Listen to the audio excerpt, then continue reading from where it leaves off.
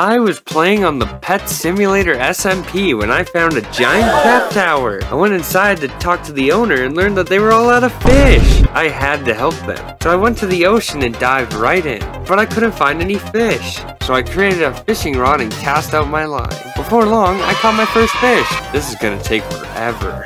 I had to find a different way, so I boarded the sailor's ship and asked for some fish. They agreed, but I'd have to wash their ship in return. After Bruh. hours of cleaning with one sponge block, it was nice and clean. The sailor was happy and gave me a shulker box full of fish. Now all I had to do was return to the cat tower. Owner was very happy with all of the fish.